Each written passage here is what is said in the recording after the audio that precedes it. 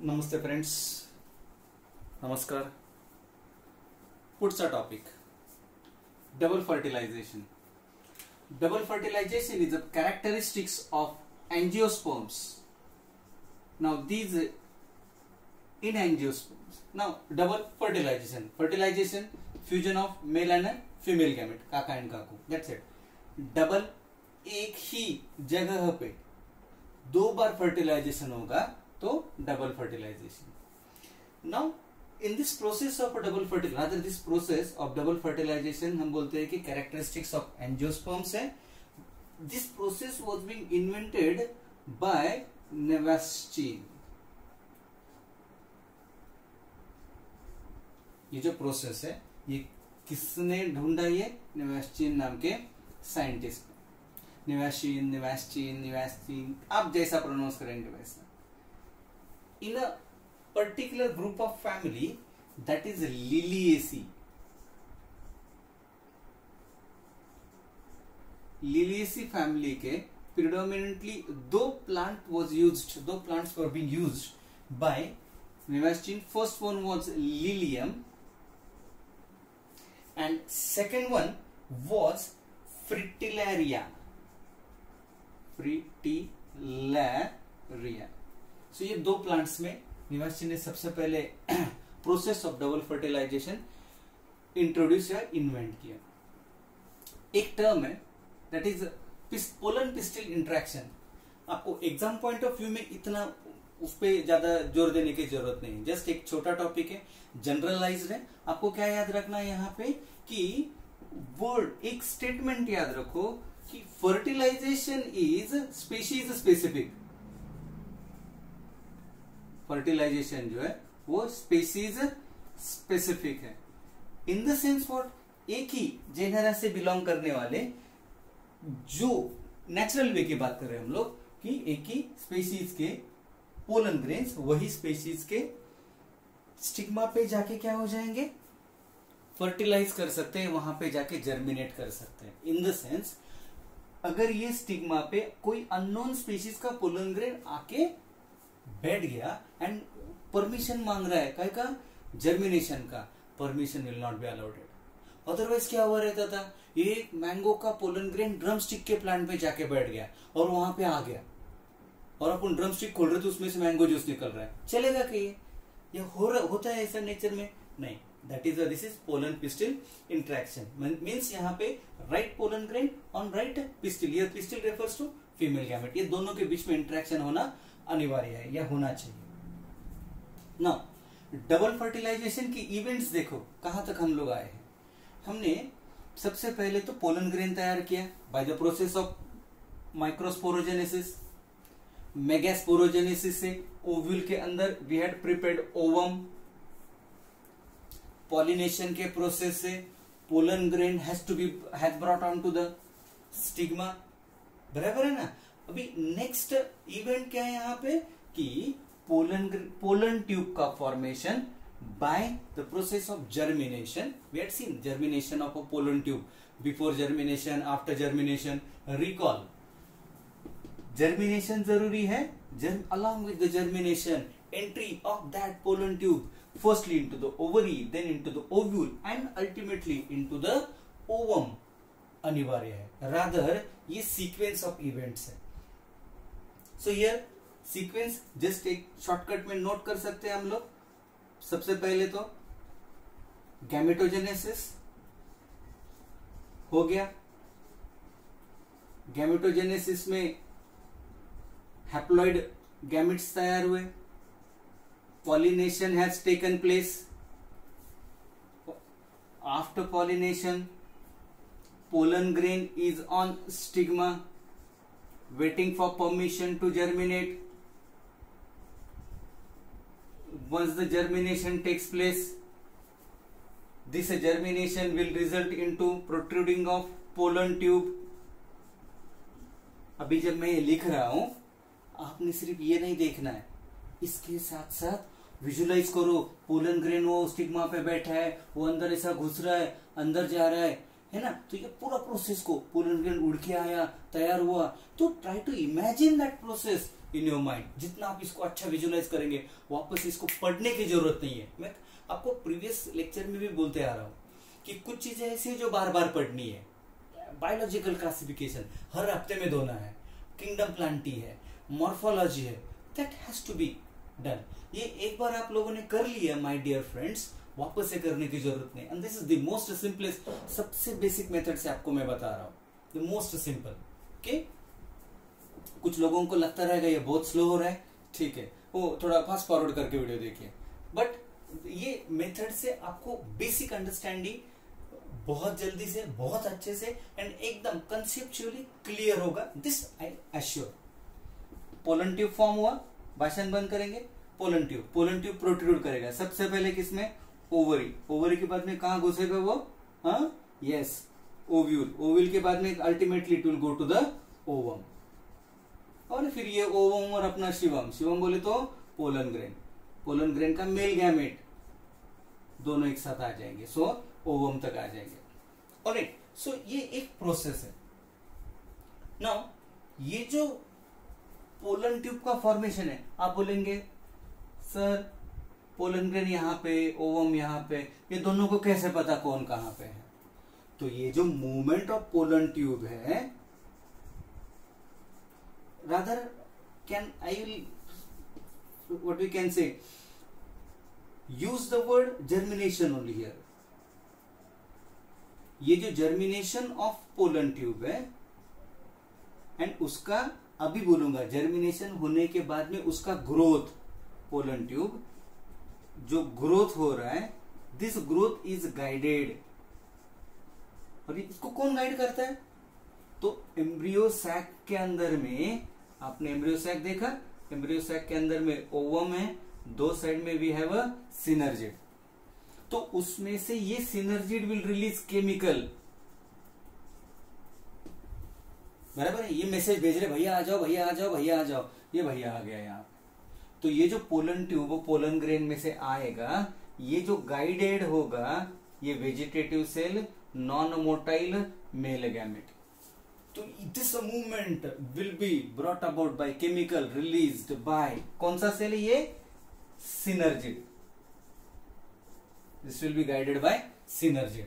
So हम लोग यहाँ पे बोलेंगे growth of the pollen tube is guided by the chemical secreted by synergid and this method rather ये प्रोसेस को what we called as yes chemotropism ना ये जो मूवमेंट है, इसलिए ये पोलन ट्यूब, अभी देखो, इसको कहाँ कहाँ से इसका एंट्री पॉसिबल है।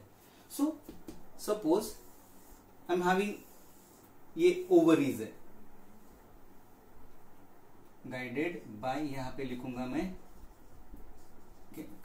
ये सारी जगह पे what I can do? I'll draw the ovule. See the method to draw, beautiful drawing का मेथड अच्छा है ड्राइंग गंदा है। है ना? हैंड राइटिंग ड्राइंग ये थोड़ा सा आप बैर करते जाइए मुझे। हाँ अभी मैं ये इतना ड्रॉ कर रहा हूँ तो उतना तो आप फटाफट बोलेंगे ना कि इंटीग्यूमेंट ड्रॉ कर रहे हैं, है ना? हाँ।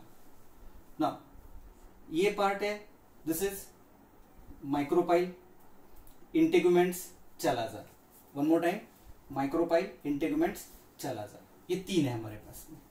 Now if if pollen tube, हमारे पास में जो पोलन ट्यूब है, ये पोलन ट्यूब अगर आएगा और ऐसा आके अगर वो कहा से? माइक्रोपाइल से अंदर जाएगा तो मैं वो प्रोसेस को बोलूँगा porogamy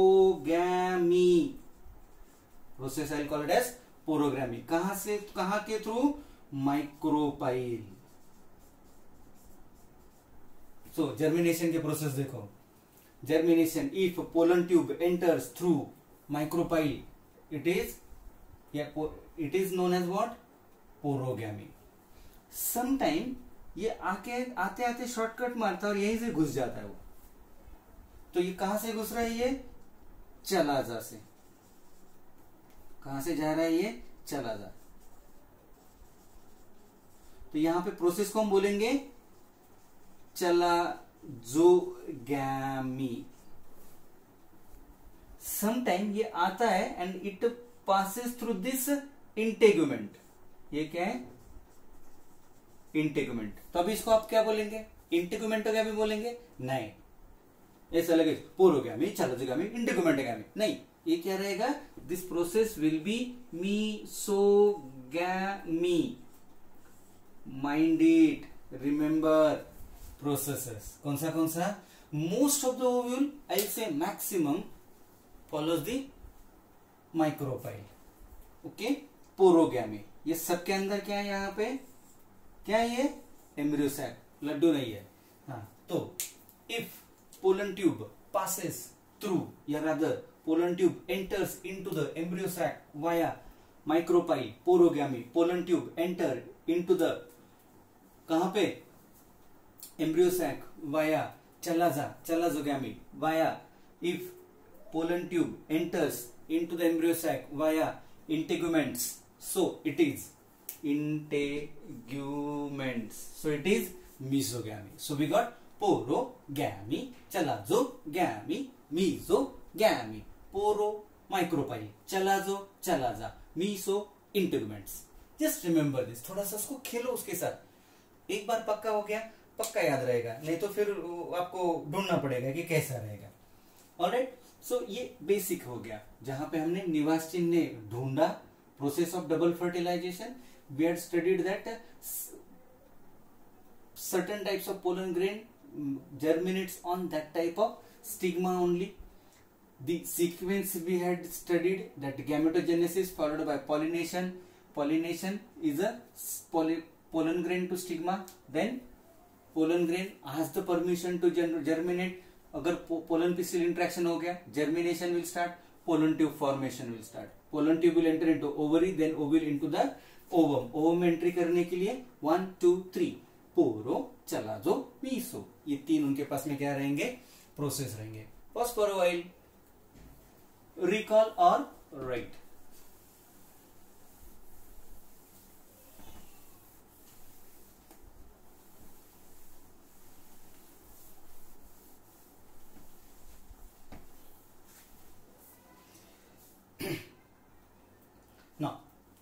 here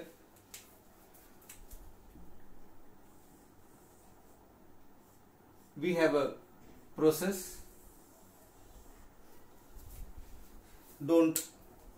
Laugh at a diagram. ये ऐसा ही है। पोलन ग्रेन आके बैठ गया अब बोलेंगे, सर मटके पे के आके बैठ गया जैसा है, वैसा है। ना जर्मिनेशन अभी जर्मिनेशन के लिए स्टेप्स देखो, हमने बोला। जर्मिनेशन स्टार्ट करवाना है आपको। देन जैसे ही this pollen tube will enter. Now, i'll show by certain diagrams. एक diagram I draw it here तो आपको जल्दी से समझ में आएगा। Self explanatory diagram embryo sac egg cell synergid secondary diploid nucleus तीन चलाजल एंड वाले एंटीपोडल सेल्स ऑलराइट सो इसमें से ना we have this pollen tube आया है। नाउ दिस पोलन ट्यूब सबसे पहले आके आता है, आके क्या करता है वो? It enters into one of the synergid and this synergid now I am going to call it as a degenerative synergid previous lecture में हमने देखा था। The moment it absorb it reaches pollen tube का and reaches over here तो what will happen when pollen tube reaches to synergid सबसे पहले तो क्या करेगा? It will absorb water water है इसका जो भी साइटोप्लाज्म वगैरह जो भी रहेगा, क्या रहेगा? वो पूरा ले लेगा। जैसे दिस पोलन ट्यूब ले लेगा, पूरा water it will break so absorb क्या? वाटर कैसे वाटर आएगा? ब्रेक होगा. कौन ब्रेक होगा? Pollen tube. So this pollen tube will break ये मैं पर्पजली लिख रहा हूँ सो दैट आप जब नोट करेंगे, आप पढ़ते रहेंगे तो आपको याद आना चाहिए। ब्रेक होने के बाद में मस्त, कौन आ गए अपने? दोनों गैमेट्स यहाँ पे। ये फ़र्स्ट वाला मेल गैमेट और ये सेकंड वाला मेल गैमेट पक्का याद रखो male gametes are non motile ये क्या है? Non motile non motile male gametes अब ये नॉन मोटाइल है, ये जा नहीं सकते, इसलिए पूरा ट्यूब बनाना पड़ता है। तो मूवमेंट ऑफ़ दिस या formation of this tube pollen tube हम लोग बोलते हैं उसको siphonogamy non motile male gamete का movement through pollen tube is siphonogamy flowers siphonogamous flower condition हमारे पास में है। We have first haploid male gamete second haploid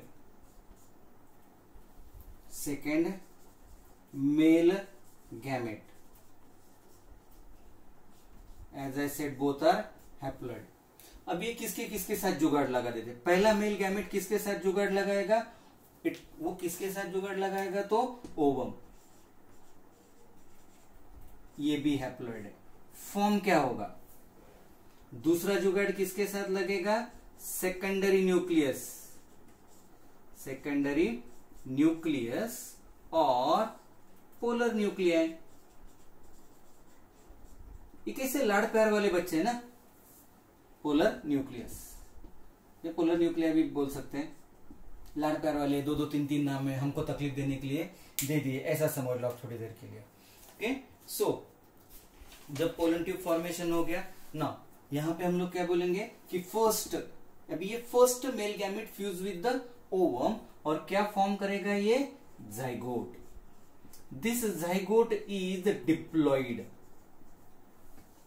बराबर है? अभी मुझे बोलने की ज़रूरत नहीं होनी चाहिए। N plus n two n दो हैप्लॉइड एक डिप्लॉइड सेकेंडरी न्यूक्लियस पहले से डिप्लॉइड है। तो this n plus n this will have ये हो जाएगा endosperm and this endosperm is triploid triploid endosperm characteristic feature of angiosperm so एक ही एम्ब्रियो सैक में दो मेल गैमेट में से पहला male gamete has fused with Oh, ovum while second male gamete has fused with secondary nucleus and in a first fertilization first fusion what is being formed is zygote while in second fusion what is being formed is endosperm so here fertilization takes place twice in the same ovule.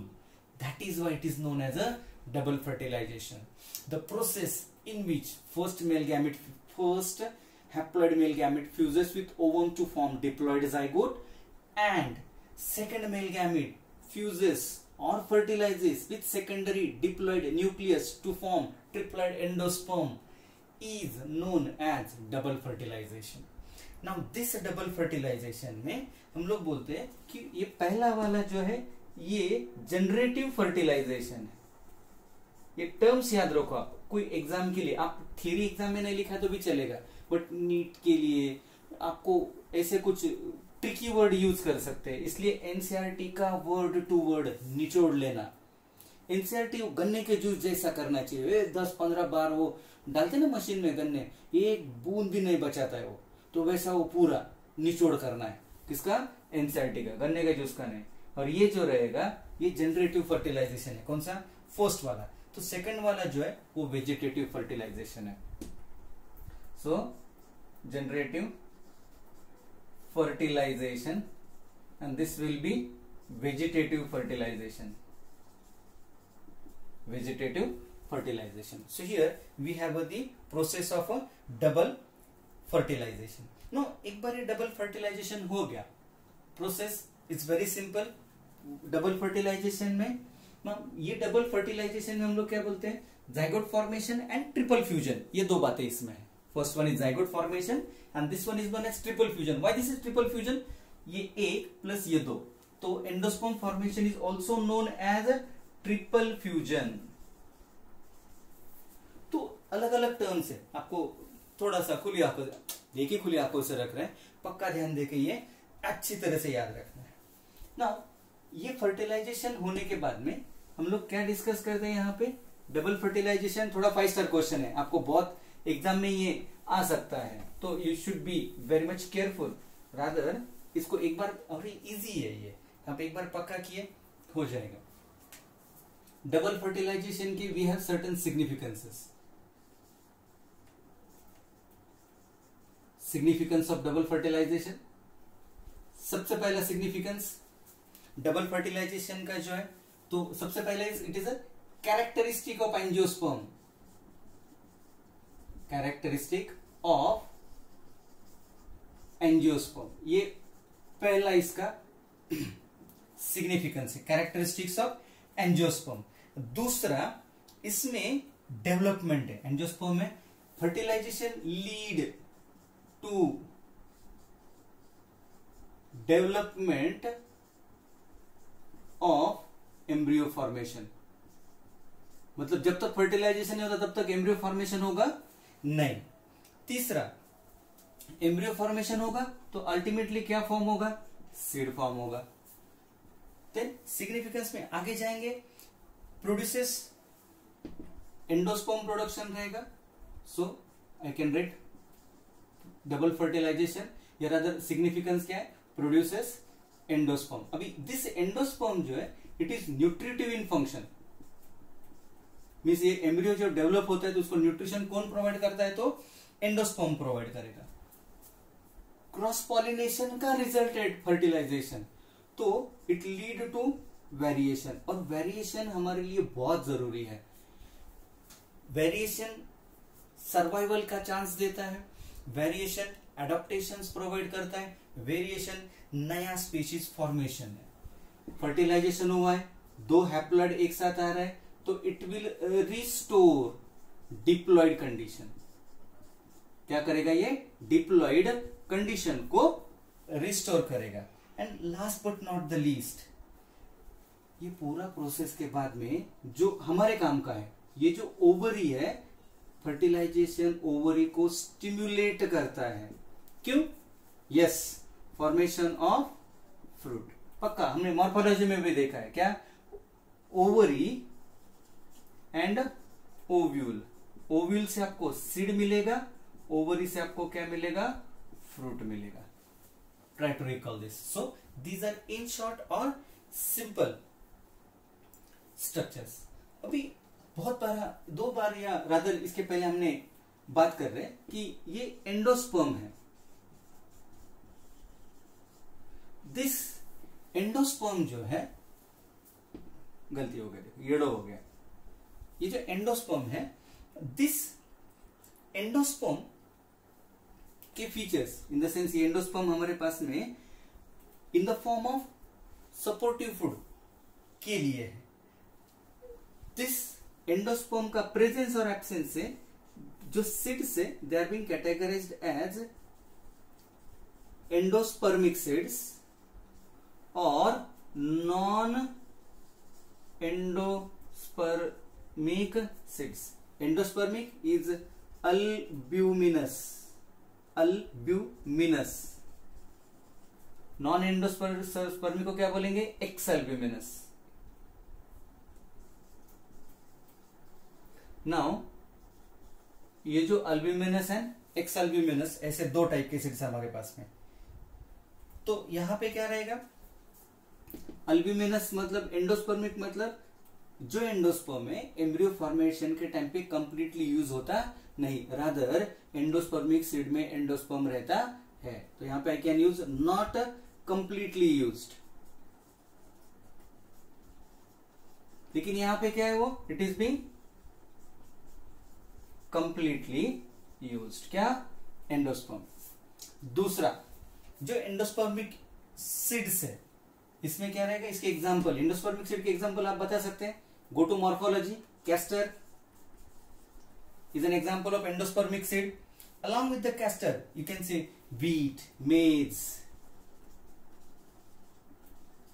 ये endospermic है। Non endospermic की बात करेंगे gram pea gram P और इसके साथ साथ में ग्राउंड नट है बीन है। ये किसके एग्जाम्पल्स है? नॉन एंडोस्पर्मिक सीड्स के एग्ज़ाम्पल ये देखते देखते आपको बहुत बार दो टर्म्स सामने आ जाएँगे। एक टर्म जो रहेगा इज़ एपोमिक्सिस टर्म क्या रहेगा? एक विल बी एपोमिक्सिस एंड दूसरा will be poly embryony apomixis and poly embryony ये दोनों टर्म को आप अच्छी तरह से मीन्स डबल फर्टिलाइजेशन के अलावा, थोड़े से कंफ्यूजिंग रादर आपको डबल फर्टिलाइजेशन के साथ साथ ये दोनों टर्म्स आना थोड़ा सा ज़रूरी है। एपोमिक्सिस में एक्चुअली होता क्या है कि diploid cell diploid cell without fertilization seed form करेगा। तो ये फॉर्म ऑफ़ असेक्सुअल रिप्रोडक्शन है। कौन सा? Apomixis is a form of asexual reproduction sexual reproduction जैसा मिमिक्री करता है। क्यों? यहाँ पे सीड फॉर्मेशन होगा but these seeds will be without fertilization दूसरा क्या रहेगा? एस्ट्रेसी फैमिली जो है एपोमिक्सिस के एग्जांपल हम बोलेंगे एस्ट्रे सी जो फैमिली है, यहाँ पे पूरा citrus family will be examples of polyembryony मतलब एक से ज़्यादा सीड्स फॉर्म करना। अभी यहाँ पे क्या हो जाता है कि जो एम्ब्रियो सैक है पॉलीएम्ब्रियोनी की, जब आप बात करेंगे तो पॉलीएम्ब्रियोनी में आपके पास में समझो ये न्यूसेलस है, ये एम्ब्रियो सैक है, ये एम्ब्रियो सैक के बाजू के कुछ सेल्स है दे प्रोट्रूड अंदर जाते किसके? एम्ब्रियोसैक के। एंड एक्ट्स एज एम्ब्रियो तो इसलिए एक साथ, एक से ज़्यादा सीड्स तैयार करेंगे। तो सिट्रस फैमिली देखो आप सेंट्रल एक्सेल प्लासेंटेशन है। आपको बहुत सारे सीड्स उसके बीच में मिलेंगे। तो ये दोनों एग्ज़ाम्पल है। ये as far as exam is concern define apomixis define polyembryony with example ये आ सकता है। ये टॉपिक को आपको याद रखना है। यू रिमेम्बर सिग्निफिकेंस हो या डबल फर्टिलाइजेशन हो। अब देखो, कितने टर्म्स हमने सीखे। टर्म कौन से कौन से सीखते, सीखे? यहाँ पे सबसे हमने डबल फर्टिलाइजेशन ये सबसे पहला ही टर्म है। दूसरा, यहाँ पे जो टर्म हमने पढ़ा that is siphonogamy along with the siphonogamy और टर्म क्या देखा? साइफेनोगैमी के बाद में porogamy mesogamy chalazogamy alright then और कौन सा देखा आगे? डबल फर्टिलाइजेशन के लिए syngamy syngamy is male gamete and female gamete male gamete and female gamete syngamy triple fusion triple fusion के बाद में we had studied endospermic non endospermic apomixis polyembryony alright so here double fertilization जैसा ये topic है. Lower plant का reproduction along with the double higher plan का reproduction ये पूरा टॉपिक हम आठ से नौ लेक्चर में देख रहे हैं। यहाँ पे आप थियोरटिकली एक बार अच्छी तरह से एक प्रॉपरली नोट डाउन करके एक बार पक्का करेंगे। आई डोंट फील ये चैप्टर वापस से आपको बार बार करने की ज़रूरत नहीं है। इसके डेली प्रैक्टिस टेस्ट है, वो सॉल्व करो।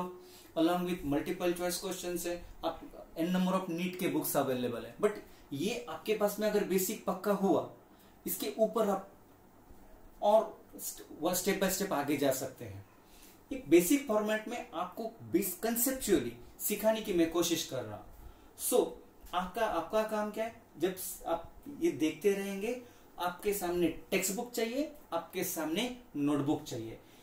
कहीं पे भी आपको लगता है ये मैंने ये टॉपिक आपने सीखा गिव अ पॉज पॉज करने के बाद में व्हाट विल हैपन आप उसको नोट करो नोट करने के बाद में वापस से वीडियो रिज्यूम करो। सो so, ये बेस्ट मेथड है। इंटरेक्टिव जैसे आपको लगेगा। You don't you will not feel कि कोई तो भी मैं वीडियो देख के काम करूँ। आपको ऐसा लगेगा कि यार टीचर मेरे सामने खड़ा है एंड हम लोग सीख रहे हैं।